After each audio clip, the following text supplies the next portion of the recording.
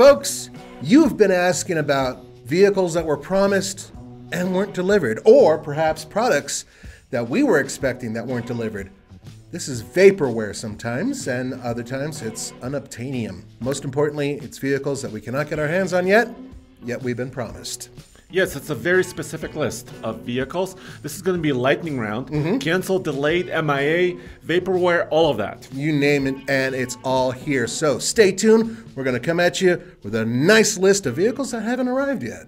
So let's start with the latest news because Rivian recently sent out a letter to a lot of their pre-order holders, reservation holders, mm-hmm. and they said, "Hey, by the way, uh, if you order the Max Pack, the big size battery for maximum range, about mm-hmm. 400 miles, right. you will have to wait until 2023." Yeah, it, it's over a year to wait for that Max Pack. So, unfortunately, yes, they did manage to get some of their vehicles out almost on time, but not in this case. Yes, so they delivered about 386 approximately vehicles this year in 2021. And of course, this vaporware list is kind of like ending in this year. It's kind of a wrap up. Right, right, exactly. But there are more to the list, and I want to go right into the Tesla Cybertruck, which was promised and then moved way back. Yes, so we all were all there. Actually, Roman was there in person. Yeah, he uh, actually when, rode in one. Yeah, when the Cybertruck prototype first launched, world debut, and they said by the end of 2021, we will be selling Cybertrucks. And and no, it's now moved to 2023, and I believe late in 2023. Well, we point. actually don't even know for sure. Well, they did do an announcement saying they were moving it back a few years. And Yes. Now, before we continue, real quickly, yes, of course, we know that the chip shortage and other shortages and COVID and all these things have moved some of these vehicles back. But in many cases, these vehicles don't exist, or they did exist but then disappeared, or they may have existed. So yes. let's move on to Ford because you'll see what I'm talking about. Yeah, exactly. Thank you for queuing this up. Because uh, Ford Escape plug-in hybrid specifically, this is the latest generation of the Ford Escape crossover. You were there in person in April of 2019. This is over two and a half years ago when they showed you the plug-in. That is correct. And so we were expecting to see this vehicle, but what happened? It so, didn't happen. Yes. So of course they launched the new Escape, mm-hmm. and then uh, a little bit later, perhaps maybe the, the hybrid, which is currently available. You can go out and buy it, uh, pretty readily available. Yep. But then the plug-in hybrid, for some reason, was kind of disappeared for a while. Mm-hmm. Disappeared, and now it reappeared finally. But it took what almost two and a half years or more. Yeah. Now, obviously, there may have been some other issues that we don't know about, but they haven't announced them. Yeah, and finally, there's just well, I did a nationwide search for the plugin Escape, and I found 34 of them. Ah. Uh, maybe my search wasn't super exhaustive, but dude. uh, finally, they're reaching uh, the market. Yeah, so once again, it's another vehicle, but Ford also had another vehicle for those of you who may have remembered the Ford Transit Turbo Diesel. That was supposed to hit the American market years ago. Yes, I was actually there when they introduced it. I was super excited. By the way, we're excited for all of these vehicles, and I'm bummed that they're not here. That's kind of our thing is that this is disappointment. Yes, and uh, they showed the two-liter bi-turbo diesel, which means it's not really twin turbocharged, but sequentially turbocharged. Right. Uh, the same, almost the same motor as an uh, overseas Ford Ranger Raptor. Oh my God, the Ford Ranger Raptor diesel from overseas coming to the Transit van here in the U.S., and then bam yeah. Now, this vehicle, had it come out, would have had amazing range and really good torque for such a small little powertrain. In fact, Ford was so excited about it, they hired James Belushi to come out and do push-ups. He, well, he literally did push-ups in front of us when they were doing it at the Chicago Auto Show for this vehicle. We still don't understand that part. That was also the Transit Connect with another little diesel. Yes. So still, diesel and vans do not match apparently in in, in the American market. So gone, and they're no longer available. You cannot configure them, cannot buy them. Bam. Yeah, all those diesels are gone. Let's move on to Nissan. Now, this vehicle, there's a big difference here between the other ones because this one, they didn't actually verbally promise a specific year. However, we notice it's been hanging around for a while, and that's the all electric Nissan Ariya. Yes, exactly. And uh, right now you can reserve it. Mm-hmm. You can still not go to the Nissan dealer and buy one. Nope. Uh, we've been waiting for it. And you know, they initially showed some concepts years yeah, ago. Yes, and, and it's been still vaporware until later next year. Yeah. To be fair, once again, they didn't announce any particular date that it was coming out and then pull it away. But because it's been sitting there for a while, we have to wonder why. And then on top of that, consider the other vehicles that have come out that compete with it, including the ID4 and the Tesla Model Y and the Ford Mustang Mach E. All of those vehicles compete with it, and yet this one didn't come out. And Nissan used to be like the king of electric vehicles. Well, they have the Leaf. Yes. Th- yeah, they perfected mass production of electric vehicles, and this one, this all new one, was sort of promising to be their next step, and it didn't happen, and they kind of are late to the game now, and that's kind of our issue with it, uh, you know, simply put. Yep. But then there's other ones that truly are vaporware. In other words, there's a promise made and nothing delivered. And that would be a vehicle like the Bollinger, the B1 and the B2. Yes, and uh, there was. Let's set the stage really quickly. When the Cybertruck from Tesla and the Rivian R1T initially were shown, right? There was this kind of date in the industry, and Right. it was uh, 2021 was this magical year where every truck was supposed to be on sale. Right. Rivian delivered, like we said, 386 trucks. I'll give them credit for that. Uh, but these guys also promised the same year, Mm-hmm. but did not deliver. Now, real quickly, the Bollinger is a very different type of vehicle than these other electric ones. It actually uses some hydraulics and some other things to actually make it move. And it was pretty interesting, although unusual in terms of its design. Yeah, it's very off-road capable, uh, hydraulically controlled suspension, like you were saying, height adjustable, all that stuff. Really amazing design. I went for a ride in a concept vehicle. Uh, I interviewed Robert Bollinger, the rest of the team. They're very passionate people, very, uh, you know, intelligent and uh, very driven. And it's entirely possible that they were looking for investment and did not And get they're it. still looking for investment. Exactly. And they have a lot of concepts and a lot of renderings that they like to put out. But the actual vehicle, yes, they, and, and they did take orders too, I believe, but they Yeah, did you not. can uh, reserve them for a thousand bucks. yeah, exactly. And boop, not, nothing there. Okay. So that's a bummer. Moving on to a major manufacturer, right? Yes, a major one, one that is noted right behind Andre, and that's Chevrolet. Um, many years ago, Mary Barra herself came out and actually was saying that they'll be building many electric vehicles with Chevrolet, and something GM happened, in and, general. and GM in general, but something happened. Yes, so this was in around 2017 timeframe, late 2017. Right. We're talking about almost over five years ago. That's correct. Uh, the statement was they're going to have many vehicles, up to 20 perhaps, Mm-hmm. of electric vehicles uh, within the next five to seven years. Well, guess what? We are within five years.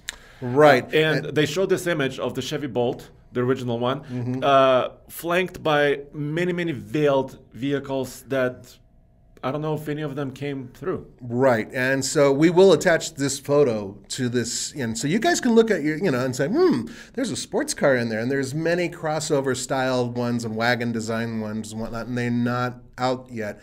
In fact, if you wanted to, say, you know, well, wait a minute, they did build the Hummer.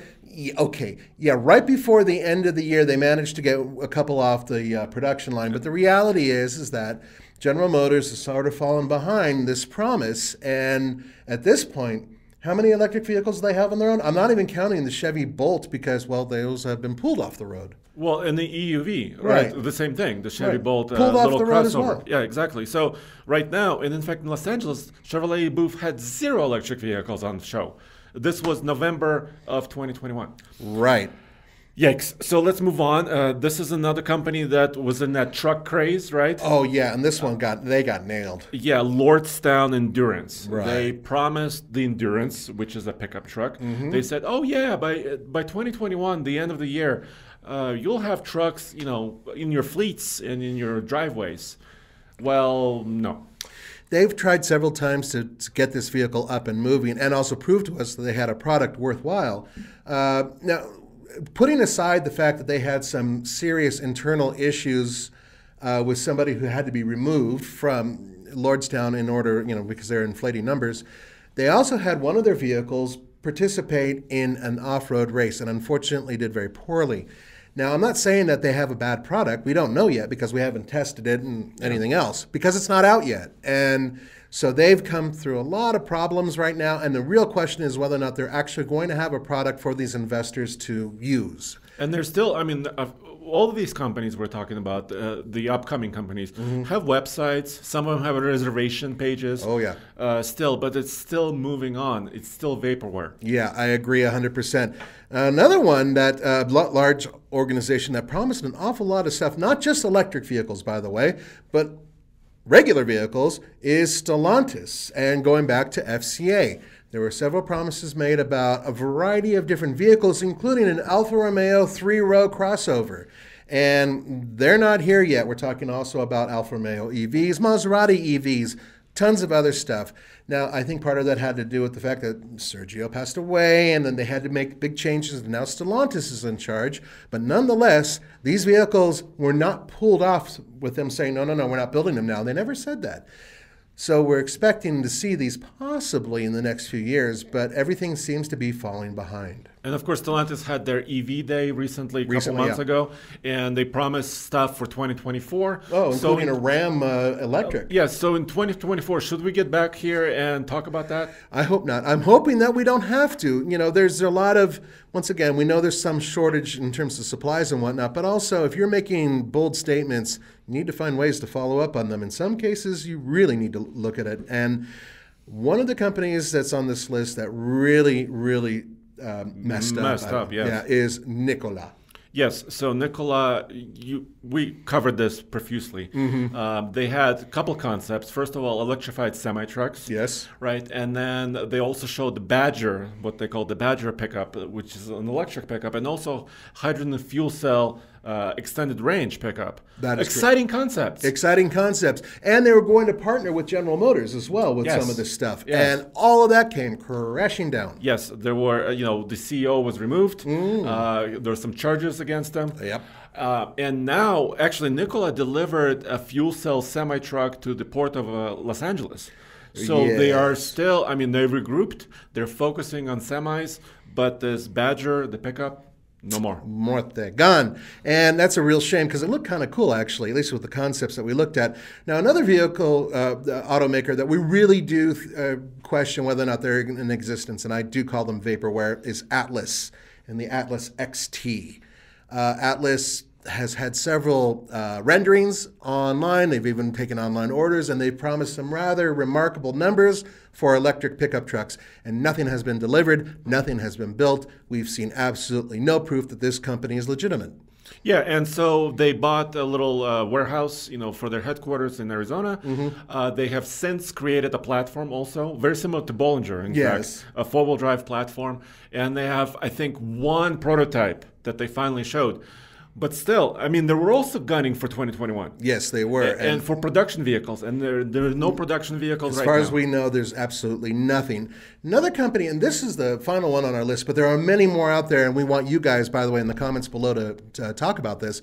Um, the one company that built a really cool looking series of concepts and made some promises, and we have seen nothing out of them yet, and that is Alpha Motors with the Alpha Wolf. Yes, and when I saw this little pickup, you know, retro style, Mm-hmm. right? Uh, very, very cool concept, electric. And they're like, okay, we'll take some reservations, right? Yeah. Uh, et cetera, et cetera. But, I mean, there is no sol. I mean, where are you going to produce them? How are you going to produce them? How many? Right. None of that. Th- This is a Bay Area based company that actually did manage to pull out a rolling pro, uh, you know example of their Alpha Wolf, which does look amazing. But nothing's on the road. Nothing has been proven. There are no prototypes out there as far as we know. We have not been invited to test any of their vehicles at all. So, as far as we know, this is vaporware. Once again, they're looking for investment in order to create something. It's kind of like faking it until you make it, so to speak. So, yes, we're being a little hard on some of these companies, but rightfully so because they made promises and they haven't delivered. And let us know in this list, you know, what have we mi- maybe missed? Yes. Right? What vehicle were you looking forward to because the automaker showed it, or maybe an upcoming company showed it, uh, and then they said a timeline, and then all of a sudden when the timeline came, nothing. And we want to hear about startups that we may have missed as well because I'm sure there are plenty out there. So, let us know in the comments below. Thanks for joining us, and we'll see you next time. And next year.